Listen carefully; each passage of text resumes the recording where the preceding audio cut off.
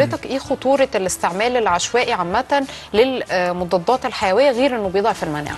هو بقى أخطر كمان من ضعف المناعة إن المضادات الحيوية بتسبب ظهور حاجة اسمها ال super bug. ال super bug ده عبارة عن إيه؟ اللي هو البكتيريا المقاومة للمضادات الحيوية. البكتيريا المضاده المقاومة للمضادات الحيوية دي أخطر حاجة بتقابل البشرية كلها دلوقتي. إزاي بقى يا دكتور؟ الاستخدام ال- الخاطئ للمضاد الحيوي سواء بقى ما بتاخدش جرعه كاملة أو آه، بناخد آه، مضادات حيوية عمال على بطال من غير أي لازمة. ده بيسبب آه، إن البكتيريا بتحور نفسها جينيا جينيا. الجينات بتاع البكتيريا بتتحور إن هي بتعمل لنفسها آه، أشكال تانية تقاوم بها المضادات الحيوية دي. فدي طبعا حاجة خطر جدا لأنها قاتلة ليك ولغيرك. إزاي الكلام ده؟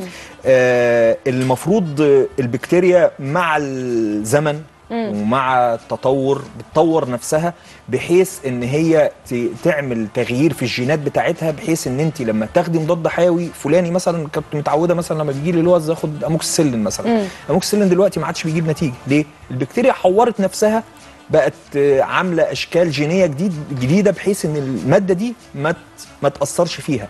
وهكذا كل يوم مضاد حيوي جديد يطلع بتلاقي ال- البكتيريا المقاومة لل- لل- للمضاد الحيوي ده مش- بتحور نفسها. عشان كده في ناس أحيانا بتروح تعمل مزرعة بكتيرية مثلا لو عندها صديد زيادة في البول آه، أحيانا في بعض المزارع ما نلاقيش ولا نوع مضاد حيوي قادر يقتل البكتيريا دي.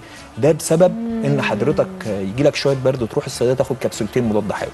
غير يا دكتور إن المضاد الحيوي بيتعب المعده يعني في ناس أصلا بتجيلها قرحة مثلا من طبعا إحنا آه، آه، المضاد الحيوي زي ما قلنا عشان بي آه، بيقتل البكتيريا النافعة اللي هي مهمة أصلا لل لل- لل- لعمل المعدة بصفة عامة بس موضوع إن. هو ال- ال- البكتيريا بتكون يعني بتخلي يعني مش بتخلي أي مضاد حيوي تاني خطر جدا. يع- طبعا. أنا عايز أقول لك في حاجة. قمه قمة في الخطورة أنا عايز يعني. أقول لك حاجة. بيقولوا منظمة الصحة العالمية آه صرحت أو آه، قالت إن من تلت نص استخدامات المضادات الحيوية على مستوى العالم ملوش لازمة. يعني في نص الحالات على مستوى العالم اللي بتوصف لها مضاد حيوي بيبقى أساسا مش علاجها مضاد حيوي.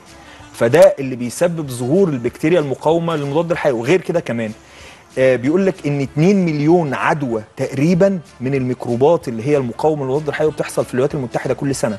في 23 ألف حالة وفاة في الولايات المتحدة الأمريكية بسبب البكتيريا المقاومة للمضاد الحيوي البكتيريا المقاومة للمضاد الحيوي مش لاقيين لها مضاد حيوي آه. يعني إحنا مش قادرين نقتلها خلاص هي خلاص. هي مقاومة لكل أنواع المضاد الحيوي آه مشكلة كمان الإصابة بالبكتيريا المقاومة للمضادات الحيوية بتبقى عايزة فترات للتعافي أطول في المستشفيات طبعا ده إجهاد لمصاريف لميزانيات الدولة كلها طبعا. آه بتبقى عايزة عناية طبية خاصة وفائقة وكل ده استنزاف وإحنا اللي السبب فيه في الآخر.